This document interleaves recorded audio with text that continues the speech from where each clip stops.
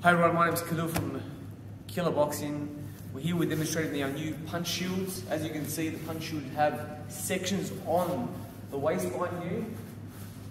Small target where the K is, where the logo is, and also has a soft body at the front. So what we're gonna do, we're gonna test out the punch shield. Yes, this, this is how it works. So you're gonna punch, punch straight into it, punching, but I'm gonna go again. It again. Do it again. Do it.